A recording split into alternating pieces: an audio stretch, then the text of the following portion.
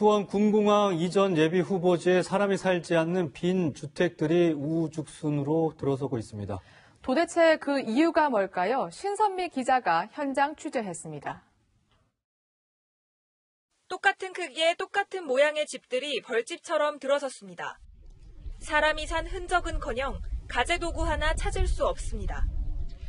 단층짜리 주택 수십 채가 좁은 땅에 다닥다닥 붙어 있습니다. 이 주택에서는 팔을 뻗으면 옆집과 닿을 정도입니다. 마을에 이런 집들이 들어선 건 지난 2017년부터 국방부가 수원 도심에 있는 군공항을 이곳으로 옮기겠다고 발표한 이후입니다. 군공항 이전에 따른 보상을 노렸다는 의심이 커지면서 주민들은 동네가 투기장이 될까 걱정이 태산입니다. 투기 목적이죠.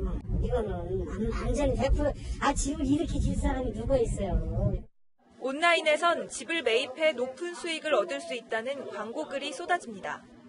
전입신고만 하면 거주하지 않아도 보상을 받을 수 있다고 유혹합니다. 근데 그런 이제 기술적인 부분들은요, 제가 그 부분에 있어서 전문가니까 저희 쪽에 하시는 분들에게는 제가 관리를 다 해드릴 거예요.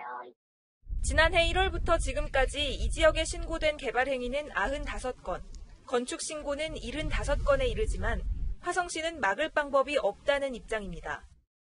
요건을 맞추면은 허가가 나가는 거고요. 그 요건을 맞춰서 건물을 지면은 준공이 되는 거고요. 전문가들은 무분별한 투자의 위험성을 경고합니다.